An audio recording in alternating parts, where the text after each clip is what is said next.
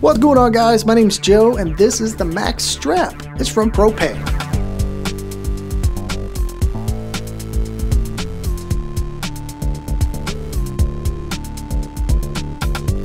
And when you first pick up this shoe, you notice it's incredibly lightweight. They've used a soft premium leather and this faux stretchy suede make sure it's going to mold to your foot, give you a little bit of extra comfort that way. Got this large, easy to use hook and loop strap, making it easy to get in and out of.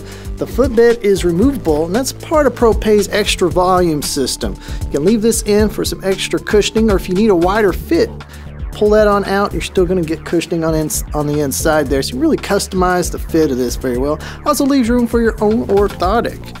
Now the midsole and outsole combination is that rugged EVA material. That's what helps keep the weight down on this shoe, gives you really nice flexibility and shock absorbency.